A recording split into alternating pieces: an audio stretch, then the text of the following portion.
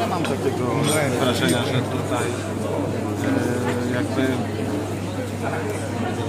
zdarzyło się coś niestosownego.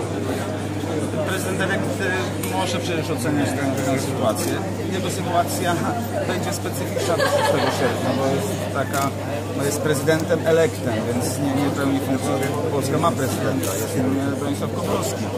Więc y, uważam, że to też jest taki wielki sprawdzian dla, dla polityka i dla polityki, żeby w tym czasie takim takiego przejścia, takiej transformacji czy, czy zmiany, żeby zachować się w sposób y, godny i wspierający instytucje państwa, a nie szkodzący. Mam nadzieję, mam nadzieję że, że, tak, że tak będzie i że prezydent elekt będzie o tym pamiętał. Ja chciałabym się zapytać o sytuację na Ukrainie. Czy jesteśmy bliżej rozwiązania tego konfliktu niż parę tygodni temu?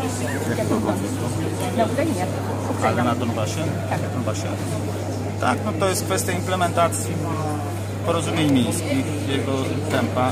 Zdarzają się takie rzeczy, takie e, jak ostatnio w Marince, znowu zginęli ludzie, znowu został, został naruszony rozejm, ale myślę, że krok po kroku gorąco y, wierzę, że, że idziemy w stronę implementacji porozumień mińskich, że, że będziemy tego bliżej. Ale tutaj, tak jak powiedziałem, najważniejsza jest konsekwencja Unia Europejska, świat zachodni musi być konsekwentny, muszą być utrzymane sankcje, żebyśmy mogli mówić, że ze strony Rosji jest, y, jest zmiana, jest, jest jakby postawienie na, na, na dialog, na powrót do stołu, do stołu.